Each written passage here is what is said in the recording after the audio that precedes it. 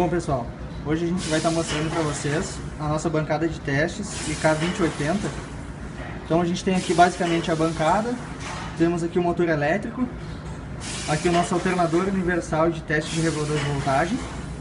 Ligando aqui ó, a parte elétrica da bancada, a gente já consegue visualizar aqui a, a luz, que seria para simular a lâmpada do painel do veículo. Aqui nós temos um aparelho que é um voltímetro e amperímetro, que está medindo a corrente e a tensão que esse alternador vai produzir.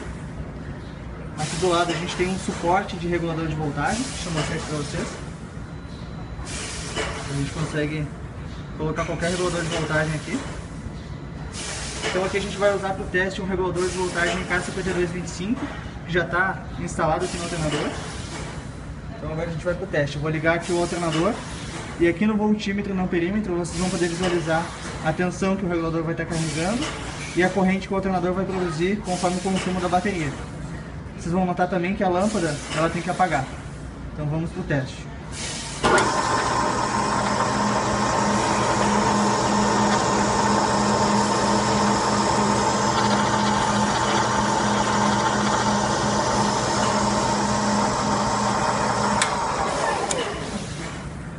Então, teste funciona certinho, o regulador de voltagem carregou perfeito, a lâmpada apagou e assim que a gente finalizou o teste a lâmpada voltou a acender. Então o regulador está funcionando 100%.